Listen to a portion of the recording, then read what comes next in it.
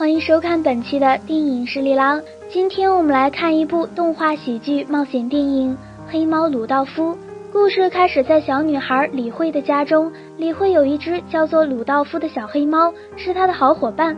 这天，李慧要去给阿泰叔叔送草莓，却没带上鲁道夫。鲁道夫看着主人独自离开，也从门缝中跑了出去。结果在街上不小心撞翻了卖鱼的摊位。鲁道夫为了逃离老板的追打，跳进了一辆长途货车的后车厢。随着货车来到了东京，在车停稳后，鲁道夫叼着鱼跳下车。他看着四周陌生的环境，徘徊在街道上。这时，一只大橘猫挡在他的面前，并让鲁道夫交出小鱼。鲁道夫心里害怕，交出小鱼后马上跑开，结果险些让汽车撞上。还好大橘猫过来救下了他。就这样，他们成了朋友。大橘猫叫虎哥，他不忍心鲁道夫独自流浪，就带着他一起去向人类索取食物。这样的日子倒也快乐自在。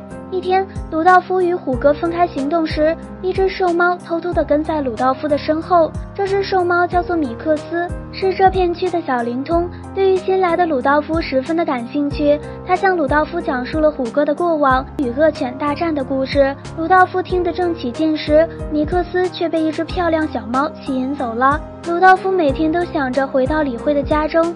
但他不知道之前住的地方叫什么名字。虎哥告诉鲁道夫，猫也要有文化和教养。正因为之前的主人教会了他识字，虎哥才能更快地寻找到食物。所以鲁道夫想要回家，一定要先学会认字和写字。虎哥和图书馆熊老师关系很好，他们在这里看了很多书籍，晚上又在路灯下练习写字。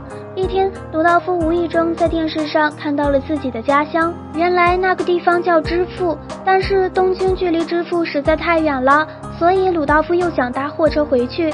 结果却钻进了一个冷冻车厢里。当虎哥再次找到他时，鲁道夫已冻成了冰块。因为这事儿，虎哥还教训了他一顿。不久后，他们通过一张海报得知了有一个旅行团正准备前往支付，所以只要记住出发的时间，偷偷溜上去就行。在临走的前一天，虎哥为了给鲁道夫送别，去找恶犬要牛肉，结果却让恶犬打伤。鲁道夫马上去找熊老师，并在地上写下了字，让他去救虎哥。看着受伤的虎哥，鲁道夫非常的痛心，于是放弃了回支付的机会，与米克斯一起去找恶犬报仇。在他们完美的配合下，终于打败了恶犬，这也让恶犬知道了朋友的重要性。再也不敢刁难虎哥，他们还成了好朋友。因为错过了一次机会，虎哥开始教鲁道夫识别各个地区的车牌，鲁道夫很快便学会了。在与朋友道别后，他踏上了回家之路。通过卖萌，他搭乘了一辆又一辆开往支付的车，只为早点看见主人李慧。在辗转了无数的车辆后，鲁道夫终于回到了那个魂牵梦萦的家。他兴奋地走进屋子里，却意外地看到了另一只小黑猫。原来鲁道夫丢失后，李慧又去领养了一只跟自己长相相似的小猫。当鲁道夫跃上熟悉的沙发，来到李慧身边时，那个曾经无数次在鲁道夫梦中出现的场景，在现实中再次出现。李慧搂着他，鲁道夫再次感受到了李慧的温度。气味以及叫自己名字的声音。随后，鲁道夫闭上眼睛，跳下沙发，跑出了门。